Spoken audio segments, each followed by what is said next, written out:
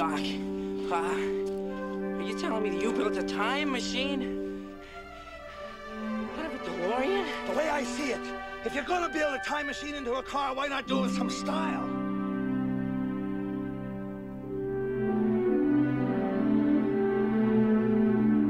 This baby hits 88 miles per hour,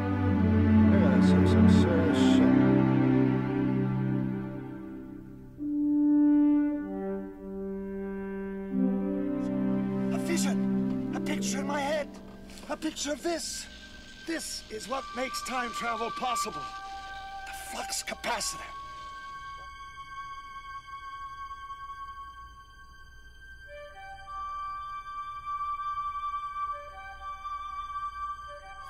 First, you turn the time circuits on.